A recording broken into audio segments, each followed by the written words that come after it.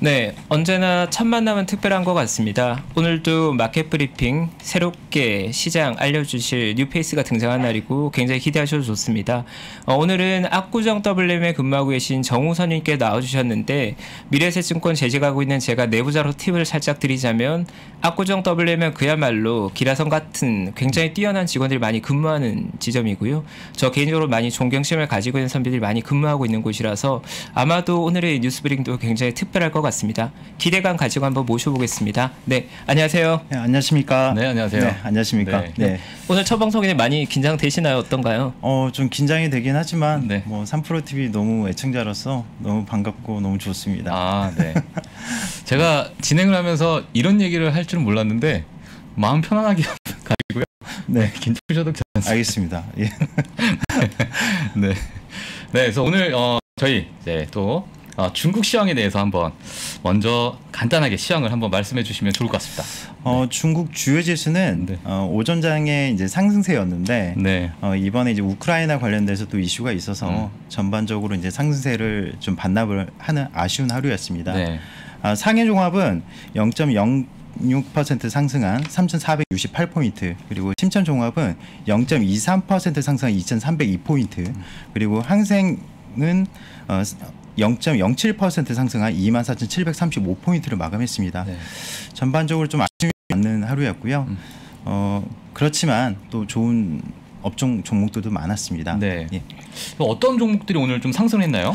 어, 당연히 오늘 큰 상승 보였던 업종은 2차 전지 쪽이었고요. 네. 특히 이제 리튬 관련주였습니다. 리튬. 예, 음. 강봉 리튬, 뭐 천재 리튬, 뭐 대표적인 종목들이 많이 올라왔고요. 네. 어, 지난주에 굉장히 좋지 않았잖아요. 네. 천재 리튬 같은 경우는 칠레 광산 때문에 음. 이제 실제로 지금 남미 쪽에서 벌어지고 있는 게 이제 국유화 논란들이 많이 있습니다. 어. 그래서 왜냐하면 전략 자산으로서 리튬이 굉장히 소중해지고 있는 상황이고 작년에 가격은 한 다섯 배 정도 올랐고 지금 일곱 배 정도 올랐으니까요. 사실 주식보다 더 많이 올랐습니다. 아, 예. 그래서 일단 리튬이 톤당 40만 위안을 돌파를 했고요. 음. 어, 더불어서 테슬라가 호주에서 리튬 구매 계약을 했습니다. 네. 그래서 이게 이제 장중에 나오면서 음. 전반적인 초강세였고 어. 흐름이 굉장히 양호했습니다. 네, 저 리튬을 어제부터 원자재에 대한 어떤 많은 얘기를 들으니까 금, 리튬 꿈틀꿈틀 됩니다 지금. 마음속에서. 네. 네, 알겠습니다. 자, 홍콩 시장은 좀 어떻게 흘렀나요? 어, 이것도 마찬가지로 외국인 투자 비중이 높기 때문에 음. 지정학적 리스크가 좀 불거지면서 그래도 어, 일부 상수폭을 반납을 하긴 했습니다. 음, 하지만 이제 오늘 특징적이었던 거는 지난주에 야오민 바이오가 네, 이제 이슈가 컸잖아요. 음. 그래서 유비의 목록, 그러니까 이제 상무부에 정한 미검증 목록에 이제 포함이 되면서 음. 어, 일부 이제 장비 수입을 좀 못할 수도 있다는 불안감들이 작용을 해서 굉장히 폭락을 했습니다. 음. 어, 지난주에 같이 리튬 어, 종목들 그리고 이제 바이오 종목들 크게 급락을 했었는데 네. 오히려 오늘은 6% 이상 상승이 나왔고요. 이제 동사의 최대 주주인 3대 주주 어, 더 캐피탈 그룹이 550만 주 가량을 매수를 했거든요. 네. 이제 그런 부분들이 이제 호재로 작용을 했고요. 네. 어, 이제 그 회사 쪽에서 밝힌 내용과 음. 더불어서 네. 아 이제 좀 문제가 없구나 생각은 하지만 음. 이제 아무래도 거래 대금이 아, 양 시장에서 이제 이전보다 좀 낮습니다. 음. 찐반등이라고 표현하기에는 좀 아직 미약한 것 같습니다. 네. 그 제가 오늘 뉴스를 잠깐 봤는데 레이 달리오가 중국주들을 좀 많이 담았더라고요. 음. 네, 그래서 그 중에 이제 알리바바도 담고 어, 핀두두, 핀두두, 예, 그리고 이제 뭐 많은 이제 중국주를 갑자기 이렇게 확 상승하면서 이렇게 담았는데 네. 사실 지금 홍콩의 어떤 성장주, 뭐 네네. 텐센트, 알리바바, 네네. 네 이런 부분 이제 이런 부분에 많이 궁금하실 것 같아요. 사실 네. 지금 웬만한 개인 투자자분들이 이걸로 고민이 좀 많으실 것 같습니다. 어, 그러니까요. 작년에 공동부의 플랫폼 규제 때문에 어, 전반적인 하락세였고 이제 반등 기미가 좀 없는 상황이고요. 음. 하지만 양의 이후에 전반적인 네. 그 규제 이슈나 이런 부분을 제외하고 음. 뭐 이제 재정 정책을 통해서 이제 전반적인 지원에 대한 부분들도 있기 때문에 음. 어좀 이제 시간이 좀 필요한 상황이 있다 이렇게 네. 보시면 될 것 같고요. 네, 모건 스탠리가 최근 보고서에서 네. 중국 메타버스 시장 규모를 이제 보고서를 냈는데 얼마인지 아십니까? 모건 스- 어, 중국 메타버스 시장 아 예 맞습니다. 중국 메타- 메타버스 시장 규모 거의 9천조 원이 넘는 걸로 나온 것 예, 같아요. 맞습니다. 거의 일경에 가깝고요. 네. 9,700조입니다. 아, 그래서 이제 일경 일경이요? 어. 네, 관련 시장에서 1등 기업만 되더라도 굉장히 이제 큰 이슈가 될 수 있고요. 야. 다만 가상화폐 시장이 어 이제 중국에서는 이제 이루어질 수가 없는 구조로 지금 돼 있거든요. 네. 사실 이제 가상화폐는 어떻게 보면 메타, 메타버스 시장 안에서 네. 가장 이제 필요한 상황들인데, 음. 근데 이제 일단 그 CBDC가 이제 대안으로 작용을 하고 있습니다. 아, CBDC. CBDC가 뭡니까? 말 그대로 네. 중앙은행이 발행한 어, 디지털 화폐고요. 아. 어 이제 위안화 표준화에 들어가고 이제 아무래도 그 이제 금융 제재 우회 효과가 있기 때문에 미국과의 분쟁에 있어서 그래도 표준화가 간다면 아무래도 좀 좋은 효과가 있을 것 같고요. 음. 그어 일단은 이제 네. 관련된 상황들은 네. 어, 아, 네. CBDC가 일단은 뭐 디지털 위안화, 디지털 화폐. 근데 이게 앞으로 계속 발전을 할까요? 이게 어. 근데 이제 방금 전 선임께서 말씀해 주신 부분이 조금 중요한 부분인 게 네. 이게 재밌는 게 뭐냐면 과거에 이제 그 중국의 테크 기업들인 알리바바나 텐센트나 이런 것들도 보면 음. 결국은 미국을 대표할 만한 빅테크 기업들이 가지고 있는 사업들 구글 같은 검색 시장 이런 것들이 만들어졌을 때 중국은 잘하는 게 자국의 성장 산업을 벽을 딱 치고 그 안에 내부 기업들에게 그 시장을 열어줬거든요. 아. 근데 지금 미국에서 새로운 성장 산업이 되고 있는 메타버스나 뭐 가상화폐 시장 같은 것들도 중국은 아마 그들 미국의 빅테크의 그 시장을 열어주지 않고 어, 중국의 메타버스 biz를 할수 있는 중국 기업들을 키울 거거든요. 그 수혜에 대한 기대감이 있다 보니까 중국 빅테크에 대해서 최근에 뭐 찰리 먼거나 아니면 레이 달리오나 레전드라고 불릴 만한 투자자들이 중국 시장으로 계속의 비중을 늘려가고 있는 거죠. 음. 최근 의외인 게 알리바바로 굉장히 많은 투자를 고전하고 있는데도 음. 정작 작년 4분기에 미국 기관 투자들 수급 보면 알리바바 비중을 늘린 투자들이 굉장히 많았거든요. 아, 최근에. 근데 그런 것들은 알리바바나 텐센트 같은 기업들이 결국은 중국의 성장 산업, 메타버스나 가상화폐 시장에서 나오게 되는 성장을 그들이 향유할 거라고 보고 장기적인 관점에 들어간 작업이 아닐까. 음. 네, 그런 관점을 좀. 보고 있습니다. 아, 어떻게 벽- 생각하시나요? 아니, 벽을 치면 근데 네. 이게 되나? 중국의 주특기죠. 네. 그러니까. 일단은 자국 산업과 미국 기업들이 경쟁해서 어느 정도 경쟁할 수 있을 수준까지는 벽을 친 다음에 벽을 걷어내야 되는데, 걷어내야 되는데. 문제가 되는 건 미국 빅테크의 성장폭이 워낙 크다 보니까 그 벽을 이제 못 걷어내고 있는 거고요. 음. 과거에도 이제 보통 글로벌 산업 내에서 top tier의 한 6, 70% 정도 레벨이 되면 경쟁할 만한 경쟁 상대가 된다고 보는데 중국과 미국의 빅테크 사이 그 이상의 격차가 나고 있는 거죠. 그러다 보니까 중국 역시도 자국 산업을 보호하는 정책을 계속 쓰게 되는 네, 선택지가 별로 없는 알겠습니다. 네. 자, 그러면 저희 이제 또 미국 증시로 잠깐 넘어가도록 하겠습니다. 네, 어. 전일 뭐 미국 증시 네 어떻게 됐나요? 예, 전일 미국 증시는 러시아 우크라이나 전쟁 리스크가 좀 불거졌고요. 음. 우려 장 초반에 하락을 했었는데 네. 가장 중요했던 1월 FMC 의사록이 그래도 시장에서 예상한 것보다 뭐 놀라운 만한 내용이 없었기 때문에 무난하게 마감을 했습니다. S&P 500은 어 0.09% 상승한 4,475포인트로 마감을 했고요. 네. 다우지수는 0.1% 하락한 34,934포인트, 나스닥 지수는 0.1% 하락한 14,124포인트로 마감했습니다. 일단 시장에서 주목했던 FMC 의사록은 어, 주요 인사들 멘트를 보면 카스, 카사카리 이제 연은 총재 같은 경우는 인플레이션 연준 말 아, 올해 말 연준이 목표하는 2%로 갈 거라고 예상을 했고요. 네. 다른 연준 위원들에게 너무 심각하게 생각하지 말라고 언급을 했습니다.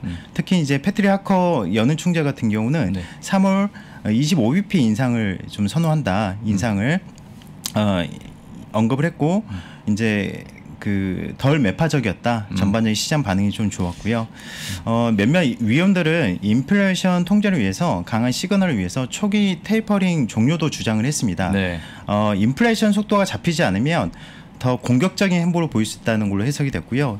단 이제 QT에 대해서는 단서는 많이 제공하지 않았고요. 네. 이제 주요 내용은 인플레이션이 둔화되지 않으면 빠른 긴축은 불가하지만 이제 양적 긴축 시기와 규모는 아직 결정되지 않았고 대부분 이제 올해 말 양적 기축을 시행하는 방향으로 좀 보고 있었고 이 부분에 대해서 시장이 안도를 했습니다.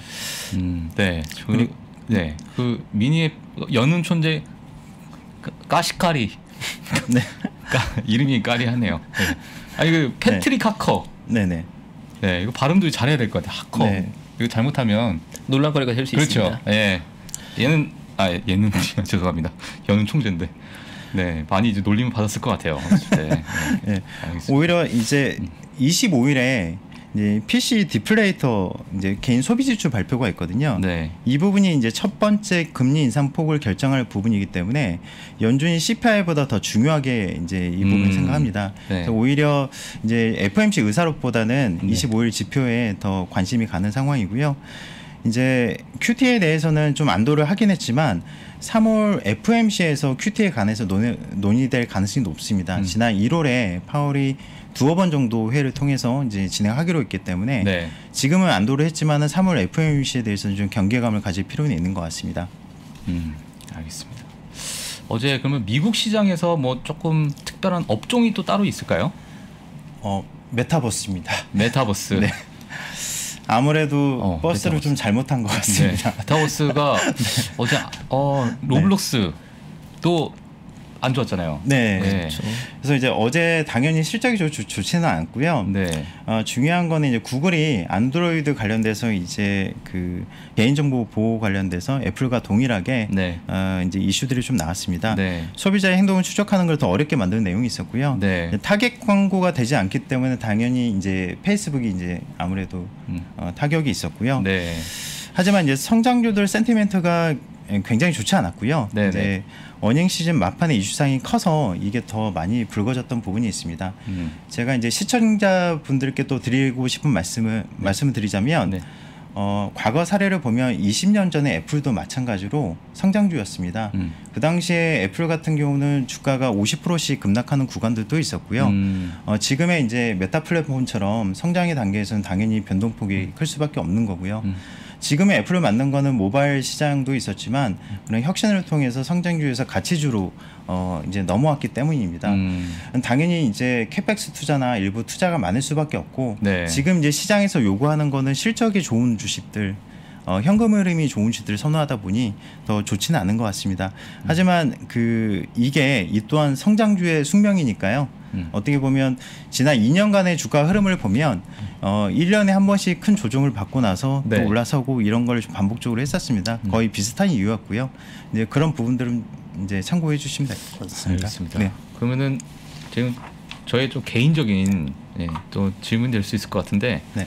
저 매니저님께서는 그럼 미국 시장에 최근 이제 많은 이제 조정이 있고 뭐 지정학적 리스크도 있고 하는데 어떻게 대응을 하시나요? 최근엔? 사실 네. 자산가 분들을 이제 모시면서 음. 이제 가장 많이 했던 거는 좋은 종목을 음. 분할로 사서 가장 오래 이제 보유하는 거였습니다. 아, 좋은 근데- 종목을 분할로 사서 오래 보유한다. 예, 맞습니다. 그게 좀 성공을 했었고요. 실제 이제 그, 어, 그런 부분들이 투자금을 높여서 이제 큰 자산이 많이 됐, 됐었 고요. 네. 일단 이제 비테크 종목에서는 최근에 숫자로 보여주는 종목만 사고 있고 음. 은행주와 reopening을 섞어서 좀 매매를 하고 있습니다. 네. 어, 이미 이제 주가는 PER와 이익의 곱입니다. 음. 따라서 최근에 PER가 다 내려왔잖아요. 음. 이익에 의해서 이제 주가가 결정이 되기 때문에 네. 그런 부분들을 많이 이제 차별화가 될 것 같고요. 은행주는 어, 금리가 0.5% 올라갈 때마다 이익이 이제 5% 정도 증가를 합니다. 예, 그런. 부분들 때문에 예, 더 매력적인 거고 reopening 관련돼서는 어, 작년에 IT와 이제 자동차 수요가 엄청 났잖아요. 음. 어, 이제 프로모션도 하지 않았습니다. 지금 막 음. 렌트카 아니 지금 중고차가 엄청나게 상승하고 있잖아요. 네네. 그죠? 그쵸. 중고차 가격하고 지금 반도체 뭐 칩 부족 때문에. 네네네. 네, 그래서 상황- 네. 이제 이게 상품 수요가 음. 서비스 수요로 옮겨질 때 그 파급력이 엄청 날 겁니다. 음. 뭐냐면 비싸도 한다는 거죠. 그러니까 음. 지금 여행주와 일부 이제 reopening 관련주들이 움직이는 이유는 비싸도 할 수 있다는 자신감이고요. 음. 그런 이제 IT에 대한 수- 어, 수요가 좀 넘어가면 아무래도 shortage 현상이 좀 해결이 되지 않을까 음. 어, 개인적으로 생각하고 있습니다. 네. 네, 알겠습니다. 네, 그래서 좀 뭐 reopening 관련해서도 최근에 사실 많이 나오고 있는 상황이기 때문에 어, 제 마음속 1번이 사실 reopening인데 오늘 시장 그리고 좀 독특했던 게 오늘 국내 장이겠지만 장중에 네. 그 러시아 우크라이나 사이 예, 좀 작은 갈등이 조금 있었다고 해프닝으로 네. 끝난지 뭐 팩트는 정확히 파악 안 되고 있지만 약간 이슈가 있었잖아요. 네네. 뭐 금리 인상 관련 뭐 양적 긴축 관련한 스케줄도 중요하긴 하겠지만 최근에 지정학적 리스크도 계속 불거지고 있는데 그런 부분 혹시 선임은 어떻게 대응하고 계시고 혹은 또 거기에 대한 의견 개인적으로 어떻게 보고 계시는지 여쭤봐도 될까요? 어, 사실 전쟁, 그러니까 지정학적 리스크가 추세에 영향을 준 적은 없었습니다. 단계적인 이슈가 있었고요. 음. 이제 그 저희 개인적으로는 우크라이나 사태는 전쟁이 발생하지 않는다고 보고 있습니다. 음. 왜냐하면 각각의 이해관계가 좀 다른데 음. 이제 그 독일 같은 경우는 탈원전을 진행을 했기 때문에 지금 에너지 가격이 무지 올라서 음. 어 당연히 물가가 많이 올랐습니다. 네. 그리고 어 다른 프랑스는 이제 대선을 앞두고 있기 때문에 리더십에 문제가 있는 거고 이제 미국은 당연히 금리 인상을 하는 단계까지 왔는데 어 당연히 전쟁을 통해서 유가가 올라가는 걸 원하지는 않을 거고요. 어, 가장 중요한 건 러시아가 어 경상수지가 12월에 작년 12월에 전년 동기 대비해서 3배 이상 올랐습니다. 그 지금의 자산 가치도 모든 자산들이 많이 올랐죠. 음. 실질적인 전쟁을 하지도 않았는데 이제 실질적인 수혜자고요. 그래서 이제 지금은 제가 봤을 때는 장기전에 돌입을 할 거고요.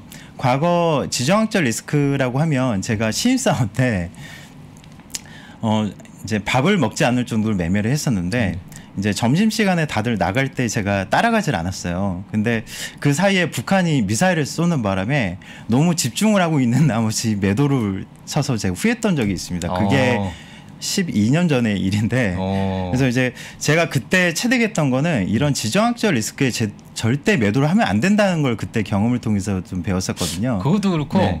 꼭 점심은 챙겨 먹어야 된다도 될것 같습니다. 그래서 그때 맛있는 걸 팀장님께서 사주신다고 그랬는데 괜히 안 나가서 네. 그때 한번 주식에 한번 쓴 잔을 맞았었는데 네, 오히려 따라가야 됩니다. 네. 이런 위기 때마다 이제 매수를 하고 오히려 역발상 투자를 많이 했어요. 음.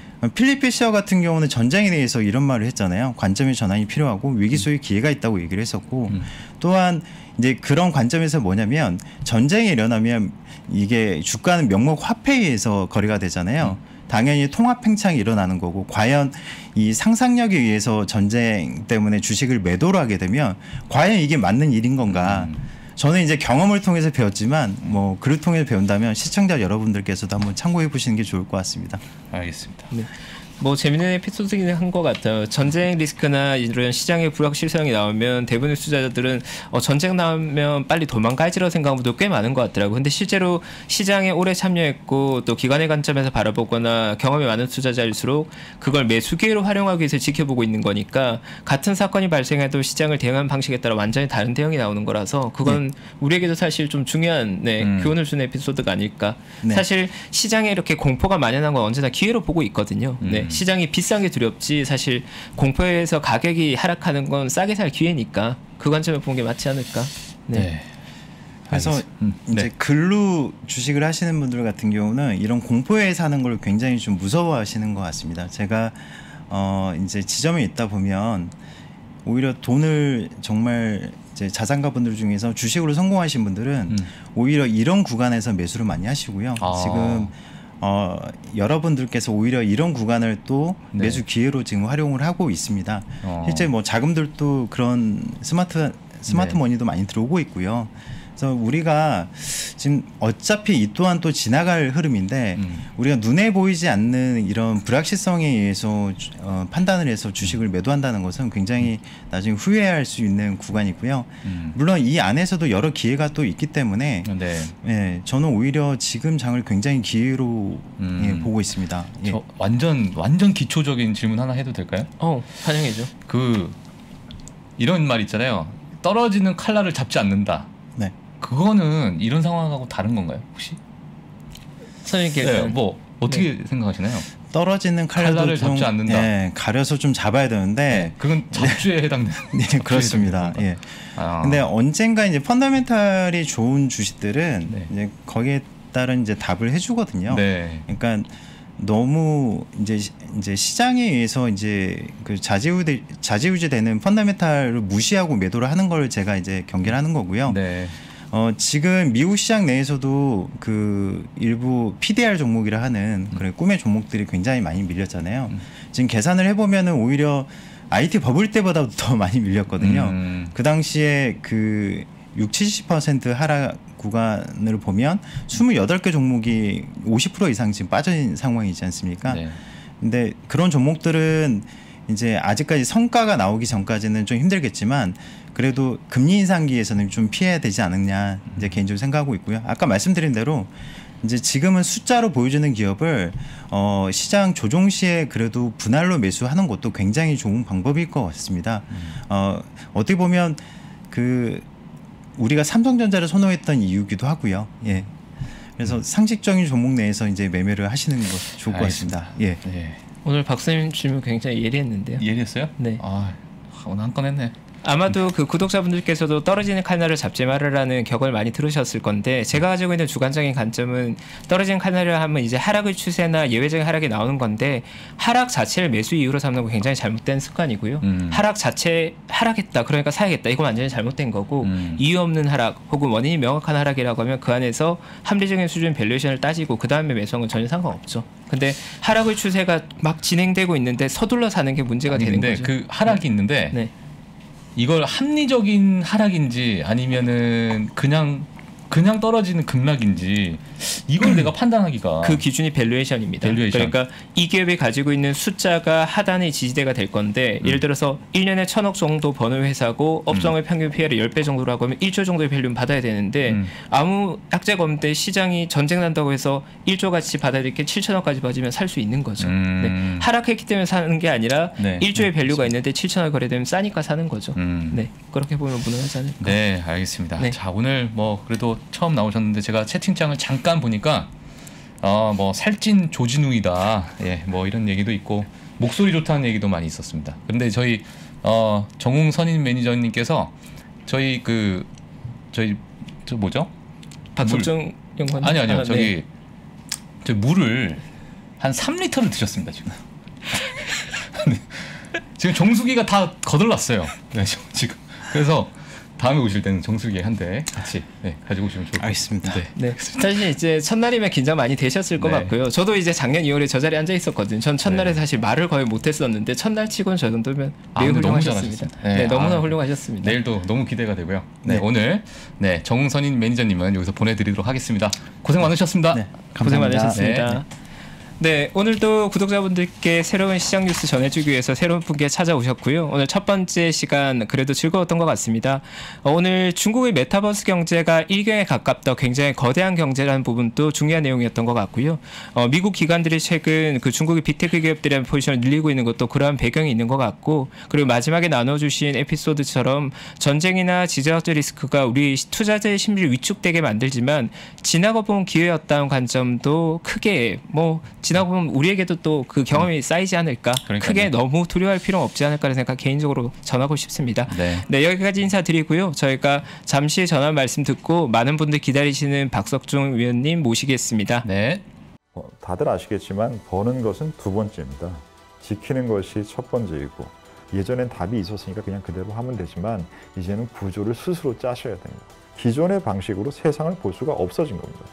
약세장에서 더 강해지는 오종태의 특급 솔루션. 주가를 결정하는 8가지 변수.